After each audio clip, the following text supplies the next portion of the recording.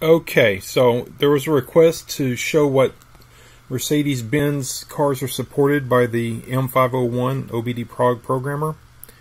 So let's just see what's there. So this there's Benz 30.30 and 30.29. I'm just going to open up the latest one.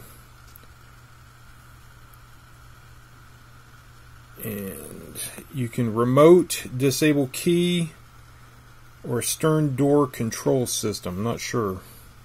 Let's see what happens if I click on that. I don't know what 163 ml means. Maybe that means somebody, something to somebody. My phone's a piece of crap. It won't focus.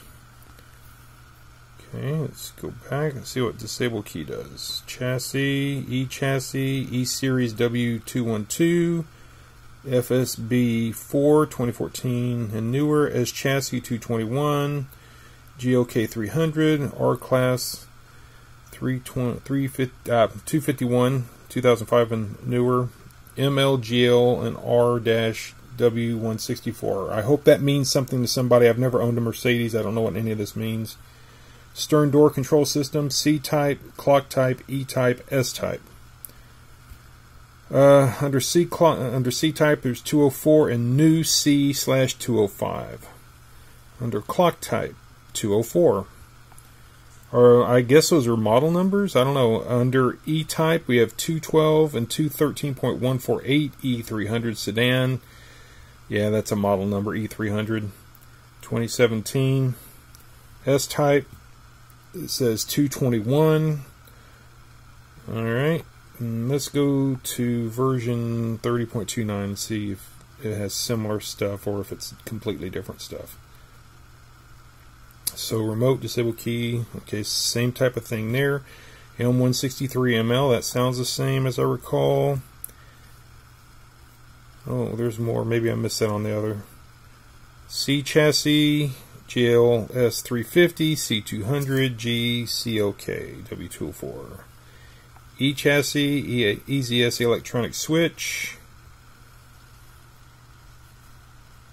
E series, EZS electronic switch disable key under FBS4 2014. Electronic switch under S chassis, GLK300, E's electronic switch. R class, electronic switch. And this was MLGLR W164 electronic switch. That was in under that. C type, clock type, E type, S type again. 204, C 205, I think that was the same as before. 204, I think that was the same under clock type. E type 212, 213, I think that was the same. And S type 221. So let me go back to the new one again.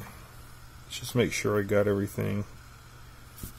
I show everything under, um, uh, what was it, remote? No. Disable key? Yeah. So I think I showed all this before, but it looks like the same. It's just a newer version of um, the software. So then maybe they added more support or maybe they fixed an algorithm.